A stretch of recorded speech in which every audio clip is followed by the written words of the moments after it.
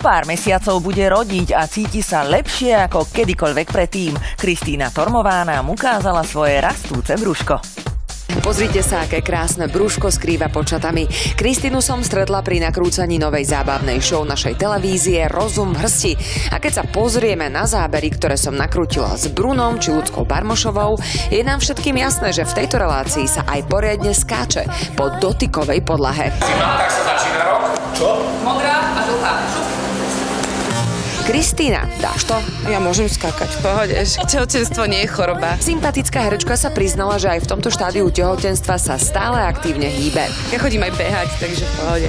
Normálne chodíš teraz behávať, dá sa to? Hej, normálne sa to dá pomaly, akože, ale je to lepšie, ako keď nič nerobím. Okrem behu sa venuje aj ďalšej fyzickej aktivite. Aj mám celkom e, aktívnu jogu a tak ďalej, takže normálne cvičím.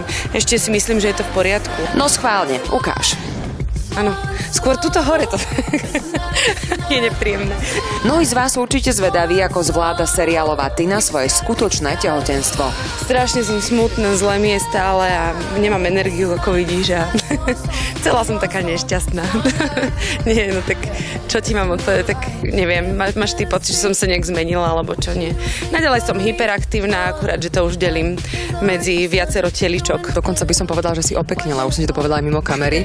Hej, ďakujem ti veľmi pekne, ja som ti to povedala tiež. Erika je tehotná. Ďakujem. Erika Barkolová, televízia Joj.